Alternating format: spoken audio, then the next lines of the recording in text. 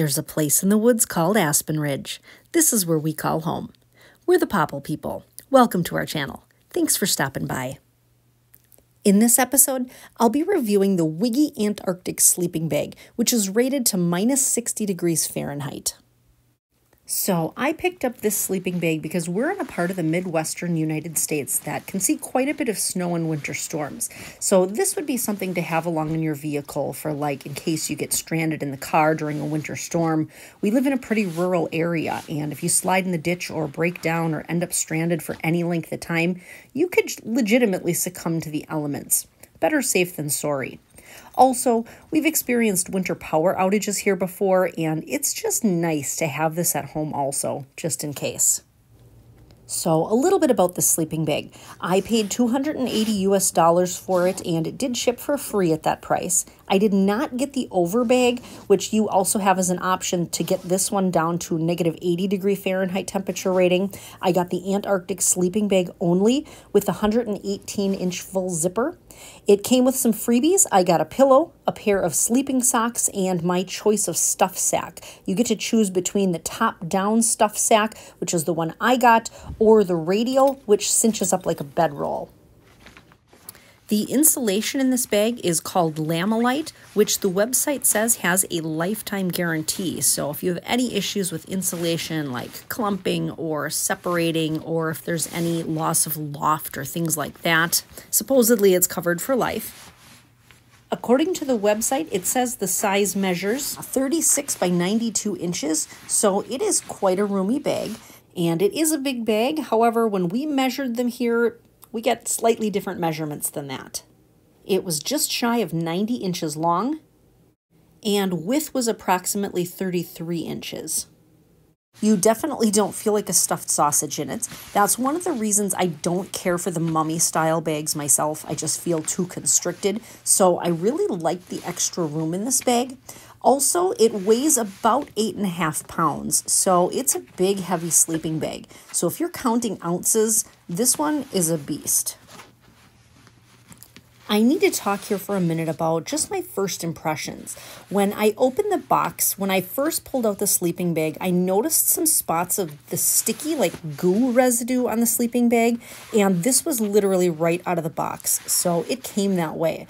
And I emailed a picture right away, and I was actually surprised that the president of Wiggy's is the one who emailed me back, but he stated that he didn't know what it was and said it could not possibly have left the factory like that but it obviously did, so I wasn't really impressed with that response. He then advised me to rub some alcohol on the sticky areas, and it actually did remove the residue, but that knee jerk response he gave me just rubbed me the wrong way because it did leave the factory with that sticky goo on the sleeping bag. Oh well. So next, let's go through some pros and cons of this Wiggy minus 60 sleeping bag. As far as pros go, this bag is plenty roomy. You definitely won't feel like a stuffed sausage like in some of the mummy bags. It is thick, warm, and fluffy. Definitely warm at zero-ish temperatures. Um, I'd feel confident that it would also be comfortable well below zero two. Uh, the top hood is really nice. Um, this bag extends up over your head and face, so you're cocooned in there pretty well, and then you can cinch it up closed in that top hood area as well. It came with several freebies, um, the sleep socks and the pillow. I liked also having my choice of stuff sack style. There's also that lifetime guarantee. Now, I haven't needed to cash in on that, probably because I just got this. Um, so who knows how they'll handle it in real life. But it does say on their website that things like if a seam opens up or if you have any insulation issues, clumping, separating, loss of loft, those types of things should be covered under that lifetime guarantee. Um, let us know in the comments if you've actually had any experience with cashing in on that guarantee uh, through Wiggy. I'm curious to know how it went and if you've dealt with them, um, and like warranty issues or anything like that. Let us know.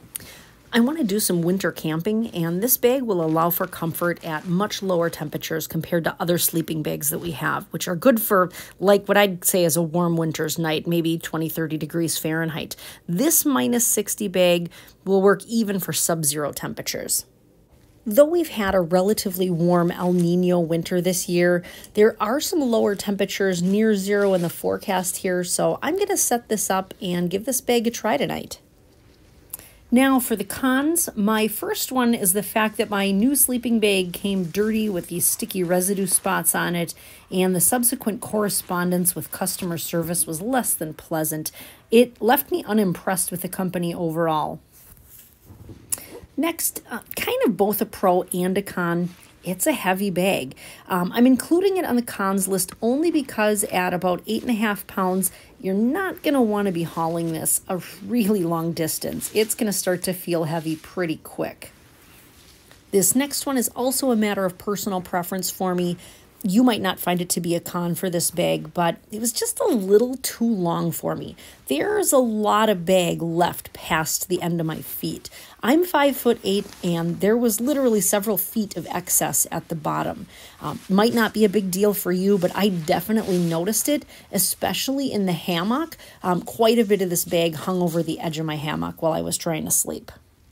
Before I bought this sleeping bag, I checked out a lot of online reviews on the Wiggy website, and one thing that I noticed is they were all really good and positive.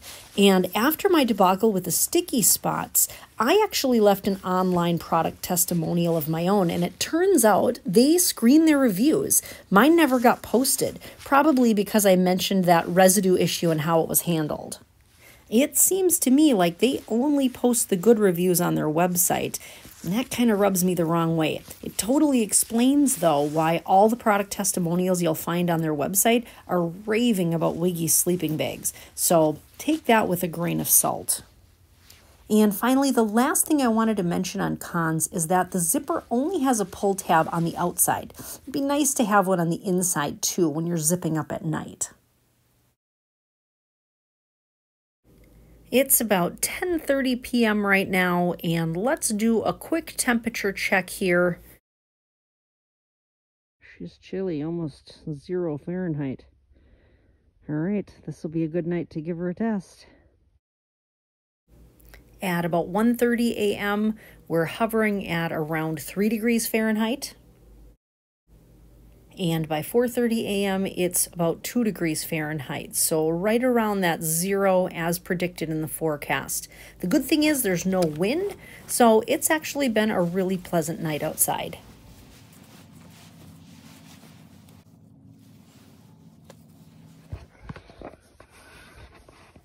Okay, so let's toss on these sleeping socks here.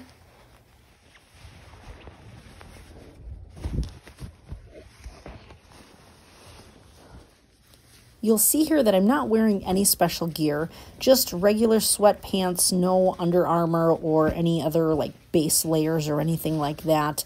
And just an old pair of socks that I knit myself, nothing spectacular. Like my feet get cold in the house wearing these socks.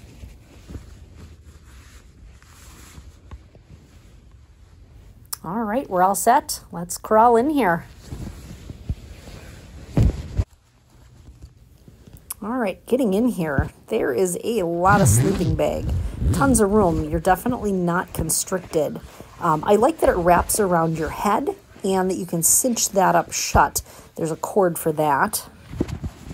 My only real complaint so far is that the zipper here doesn't have a pull on the inside. The only pull tab is on the outside, so you have to reach out to get to that.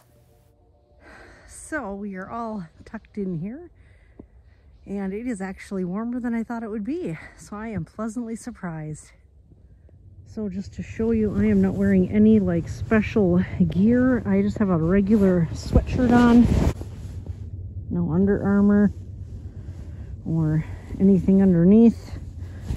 And this is surprisingly toasty in here. So by 6 a.m., it's about 3 degrees Fahrenheit. Bottom line on performance here, it's been surprisingly decent. I felt warm and comfortable in this bag all night, even at temperatures right around zero Fahrenheit. One last pro on this sleeping bag that I forgot to mention before it is made in America, so I do like that.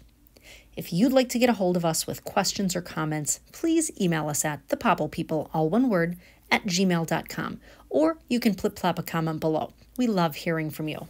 Thank you so much for watching. We really appreciate it. If you found this information helpful, give us a thumbs up below, and we'd sure appreciate it if you'd please consider subscribing. That way, you can be a Popple People too.